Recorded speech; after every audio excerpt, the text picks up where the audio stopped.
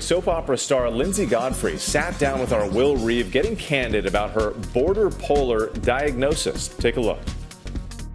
I'm what's called a border polar. Actress Linsey Godfrey speaking out about her condition, what some experts have called border polar. At what point and how did you realize that maybe you were enduring something that was unique compared to the people around you?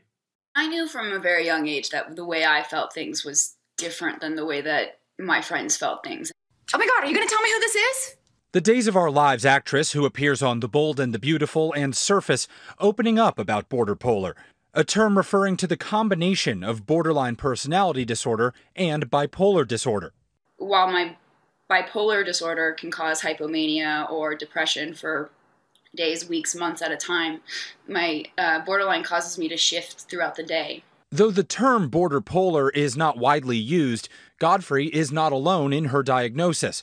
One study showing 96% of patients with borderline personality disorder also had concurrent mood disorders, 10% of them being bipolar.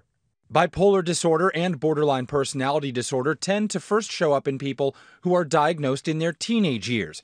With consistency, treatment can be effective. Individuals with bipolar disorder, the primary treatment of choice, the necessary treatment is for medication. In contrast, individuals with borderline personality disorder have as their primary treatment approach psychotherapy, and medication can be helpful. I have an idea but you're not going to like it.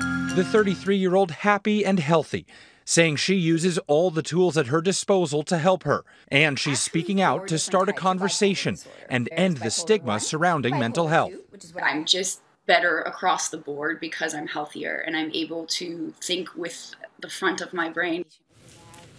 And our thanks to Will Reeve for that story. Hey there, GMA fans. Robin Roberts here. Thanks for checking out our YouTube channel. Lots of great stuff here. So go on, click the subscribe button right over, right over here to get more of awesome videos and content from GMA every day, anytime. We thank you for watching, and we'll see you in the morning on GMA.